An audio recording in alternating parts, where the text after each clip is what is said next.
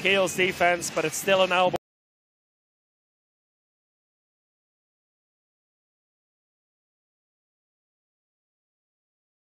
Ball. Møllgaard.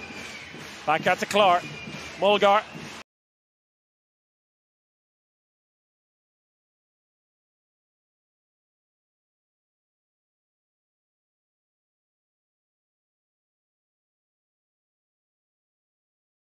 Sandell into the line. It'll be a goal or a penalty. It's a goal.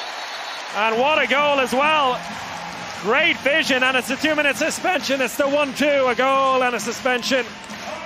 And it's Valdemar Hermansen, a man I've never heard of before today.